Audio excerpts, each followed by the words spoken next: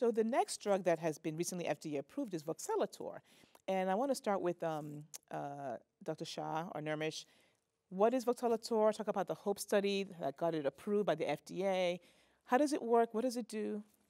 Yeah, so, so this is a, a drug that's a hemoglobin modifier. So it actually uh, binds to the hemoglobin, actually to the, the alpha globin, and it increases the oxygen affinity. And again, speaking to what we were talking about in regards to hydroxyurea, in a very similar fashion, if you have uh, hemoglobin that's holding onto oxygen, you're, you're preventing that sickling uh, uh polymerization that you have. And, and so it's a, it's a very interesting drug in the sense that it is uh, taken up directly by the red blood cells. It doesn't have to go and trick the, bo the bone marrow into making more fetal hemoglobin. Uh, so it has this kind of pan-cellular effect. It has this effect across uh, all the hemoglobins within the red blood cell.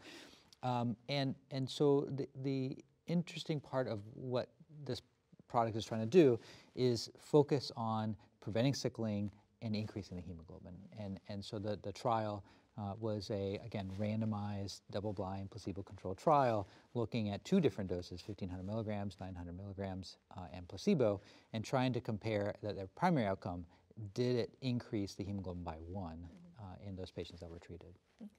And um, Bray, so with the study, what was the toxicity profile like for the patients who were participating in? it? So what, what should we expect to see when we start prescribing this medicine for sickle cell disease? I think it was generally well tolerated. Um, I think common um, complications or adverse events included uh, headache, uh, maybe 10% rash, which was a little bit surprising, but generally well tolerated. Um, so it's and it's oral, which is okay. different from crizanlizumab. I think we didn't IV touch on that. Crizanlizumab yeah. is mm-hmm. IV. Uh, Voxelotor is an oral drug. Mm-hmm. And the, the dose approved was the 1500 milligrams or the 900 milligrams? 1500, 1500 milligrams. milligrams. And so, what are the clinical implications? So, who would be the ideal patient to offer this drug to? So I you think know, that's the million dollar question. Yeah, I, one thing we, we, forgot to mention or did mention up front is that what we saw was a, a, an increase in hemoglobin, right, by, by at least a gram, which was their primary endpoint. But we, it, we didn't see any other changes. So we didn't see any significant reductions in pain or vaso-occlusive crises. And so I think that that's what makes this a little bit harder in sort of determining, you know, optimal treatments right. for optimal people. But certainly, right, I, I, would think we all probably agree that we have some individuals who cannot be transfused for mm -hmm. various reasons and have Multiple very low hemoglobin. Yeah. Low hemoglobin. People with kidney disease, low EPO, who have very low hemoglobin. So yeah. I think that there's def- there are definitely there are definitely populations for which a rise in, in the hemoglobin would be beneficial. But I think getting back to what Nirmish was saying about the mechanism of action, it's just not simply raising the hemoglobin, but decreasing hemolysis, which we know leads to a lot of of complications in sickle cell disease, including Can pulmonary hypertension. Can you speak about that a little bit? Because I think a lot of providers are unaware that in sickle cell disease, you don't just only have vaso-occlusion, which is one very well-known pathophysiology mechanism, but also the hemolysis has its own separate set of short and long-term consequences. So kind of talk about that a little bit. Right. So I think we've begun to understand maybe decade, decade and a half ago more and more the impact of hemolysis and release of free hemoglobin, which scavenges nitric oxide and causes a relative depletion of nitric oxide, which further enhances vasoconstriction.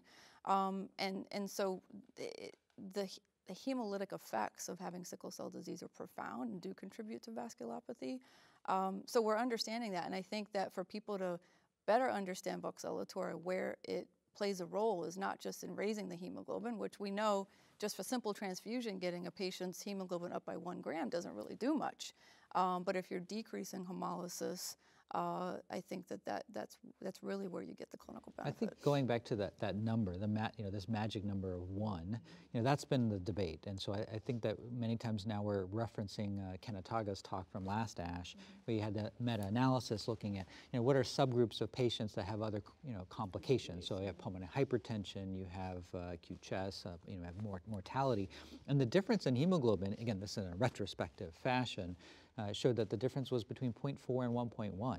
So really very small amount of hemoglobin did make a difference. So I think But, it, but it did, but it didn't prove that changing that hemoglobin yeah. would change so, that outcome. So literally answer my next sentence there, which is Patience, that the next, you know, the next uh, thought process is, well, give me time to say that can I prospectively make that difference? And, and so, you know, the data so far has not clearly shown any clinical benefit. You know, there are some separations of the curve for pain, so maybe down the line we, we, may have some uh, more data to show that.